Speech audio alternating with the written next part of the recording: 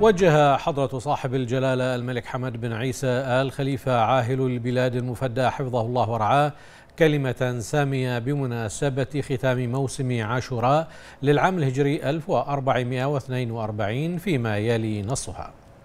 بسم الله الرحمن الرحيم السلام عليكم ورحمة الله وبركاته. بداية نهنئ الجميع بمناسبة حلول العام الهجري الجديد ونسأل الله تعالى يجعله عام خير ويمن وبركات على مملكتنا الغالية والأمتين العربية والإسلامية. وفي ختام مراسم إحياء ذكرى عاشوراء يطيب لنا أن نتوجه بالشكر والتقدير لكافة المؤسسات والأجهزة المعنية ونخص بالذكر مجلس الأوقاف الجعفرية ورؤساء المآتم دون أن نغفل جهود فرق العمل الميدانية من المتطوعين على حسن المتابعة ودقة وسلاسة التنظيم وعلى مواقفهم المسؤولة باتباع وتطبيق التعليمات الوقائية والخطط الخطط الاحترازية الصادرة عن فريق البحرين الذي يواصل بتصميم الأقوياء وبثبات الأوفياء. تقديم كل ما بوسعه للحد من انتشار جائحة كورونا المستجد والتخفيف من آثارها وبإشراف كريم لولي عهدنا الأمين الابن العزيز صاحب السمو الملكي الأمير سلمان بن حمد آل خليفة. أعانه الله وبارك في مسعاه.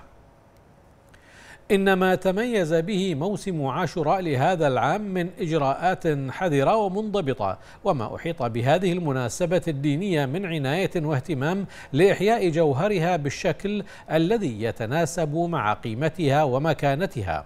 لهو نابع من خصوصيتنا البحرينية بنسيجها الاجتماعي المتماسك والمتعايش بسلام وانسجام. والتي ستبقى بنموذجها المتحضر بإذنه تعالى وبعزيمة إرادتنا الوطنية مرجعا انسانيا في ممارسة الحريات الدينية واحترام التعددية المذهبية ومركزا حاضنا لقيم ديننا الحنيف بمبادئه العظيمة ونهجه القويم. ونود في سياق ما نشهده من تفهم ووعي وطني بتعامله الحصيف مع تحديات هذا الظرف الطارئ. أن نتوجه بشكر خاص إلى مشايخنا وعلمائنا الأفاضل على بذلهم المخلص خلال هذه الفترة الصعبة بتقديم التفسيرات المستنيرة المرتبطة بتحقيق أهم مقاصد شريعتنا السمحة والمتمثلة في حفظ النفس وتجنيبها للمخاطر والضرر. وهو ما وفقنا بفضل من الله على تعظيم شعائره والعمل بطاعته في جو محاط باليسر والسلامة والإطمئنان. فبارك الله في جهود الجميع وأعاننا وإياكم على حفظ مصالح البلاد ومواطنيها والمقيمين على أرضها. داعين المولى عز وجل أن يعين أن يعيد علينا مواسم الطاعات والعبادات بالأمن والأمان. وبالصحة والمعافاة ويعجل برفع هذا البلاء ويجمعنا بأهلنا الكرام والجميع بأحسن حال. إنه سميع مجيب.